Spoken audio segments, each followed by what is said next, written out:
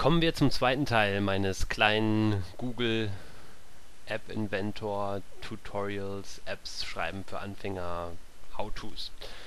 Und zwar, wir haben erfolgreich unseren Taschenrechner veröffentlichen können. Wir können jetzt also plus minus mal geteilt rechnen an unserem Handy und haben diese App natürlich auch fest ins Herz geschlossen.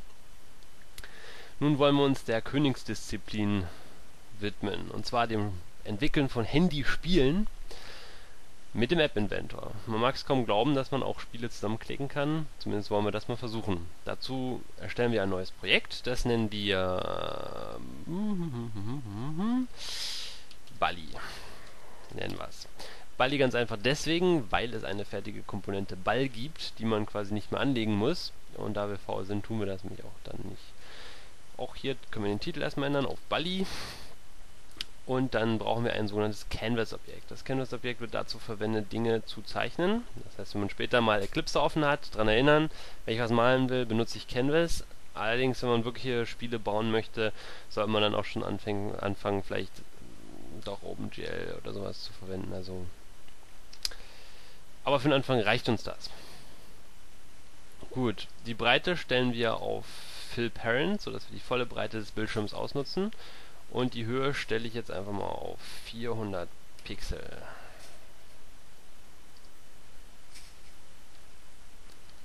Dieses Canvas-Objekt stellt quasi unser Spielfeld dar. Und ist jetzt auch schon recht groß. Und als nächstes brauchen wir den besagten Ball. Den finden wir unter Animation. Und dort ist der Ball. Den Ball ziehen wir rein an irgendeine Stelle. Und dann gibt es einige Properties, die wir einstellen können. Heading zum Beispiel ist die Richtung, in, äh, Richtung, in die sich der Ball bewegt. Ähm, meine Idee ist jetzt ein Spiel zu machen, wo man quasi einen Ball einfangen muss und das wird dann gesammelt und so weiter und so fort.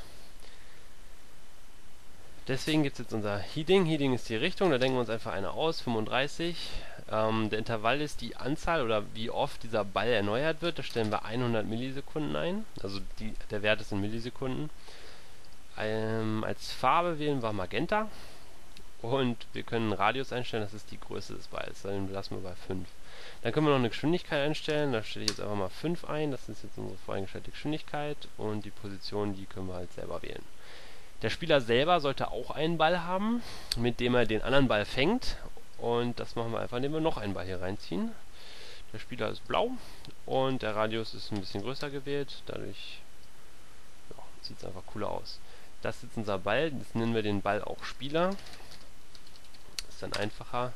Und den anderen Ball nennen wir, können Ball kann Ball heißen, das passt schon so. So, jetzt brauchen wir vielleicht noch ein Textfeld, wo wir das aktuelle Ergebnis reinmachen. Da schreiben wir momentan 0 PTS rein. Oh, das heißt nicht PTS.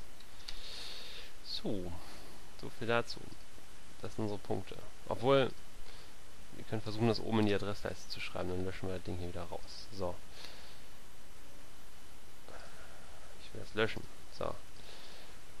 Wir schreiben einfach oben in den Titel 0 PTS rein, also 0 Punkte.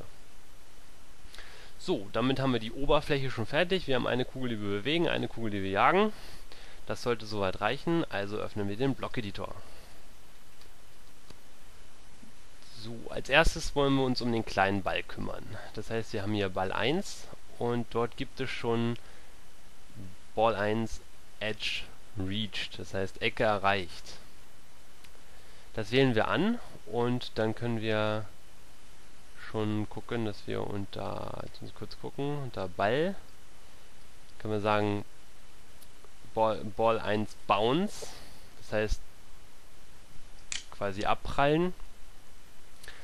Und zwar abprallen an und jetzt kriegen wir die Ecke übergeben, das heißt unter My Definitions finden wir wieder mal die Ecke so, mit diesem kleinen Codeblock haben wir schon mal sichergestellt, dass der Ball beim Bewegen an der Wand abprallt. Das wollen wir uns gleich im Emulator auch nochmal angucken. Dazu starte ich jetzt einen neuen Emulator, weil mein Phone irgendwie nicht geht.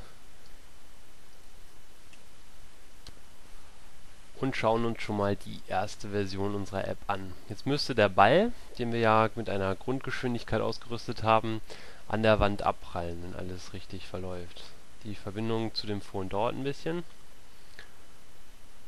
Hm. Da kommt die App. Und da ist der Screen. Und dann müsste jetzt ein Ball sich dort befinden, der sich bewegt. Da ist er und der prallt an den Wänden ab.